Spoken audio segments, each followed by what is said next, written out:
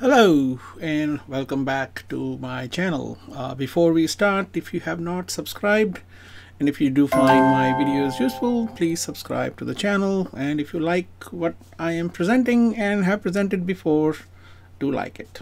So let's get started. Uh, Windows 11, uh, Microsoft has released Windows 11 for general use now and that would mean you probably are one of those uh, lucky ones who are already have a new Windows 11 machine or is planning to install Windows 11. Um, this video is not for uh, is not for you if you are, upgrading from a previous version of Windows and you already have the development features like IIS already uh, enabled. But still if you are still looking into adding more features uh, stay tuned. You will find uh, this video useful as well. So uh, so you got a new Windows 11 machine. Now you are looking into how do I enable features like IIS. Uh, in the older Windows, it used to be called Programs and Features screen, and it is still there. Uh, Microsoft has not removed it. They just kind of changed some names and moved from how do you get to it. So in this video, I'm going to show you two ways. Uh, one is a going through different user interface steps to get to that screen and second one will be is uh, just directly from command prompt you just launch the wizard. So first let's get to the user interface part of it. Uh, so in Windows 11 you see your taskbar is kind of centered now. So you click on that that Windows uh, icon start and then you go to settings. Once you have settings on the left you will see apps. You will click on it now Microsoft calls it optional features, not programs and features anymore. So they have a separate apps and features. Uh, that is for the features that are already installed. Now, if you are looking into adding additional features, you will click on it. Uh, you still don't see, all you see is install features.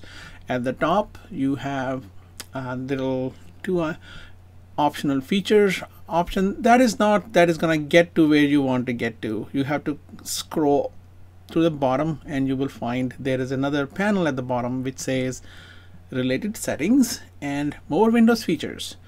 You click on it and you get to that your turn Windows feature on or off screen that you are familiar with. From here you take the action that you're looking for. For example if you are looking into enabling IIS and other web development features, that will be the place where you will go. So that is one way to do it. Uh, now let's look at the second way. Second way will be is that you just directly get to the screen that will take you very quickly there instead of clicking through three or four steps. So what you can do is you can just bring up the Windows terminal and type app viz cpl. There we go you got the screen which shows you your uh, uninstalled screen or in, from where you can access what is already installed and you can uninstall them.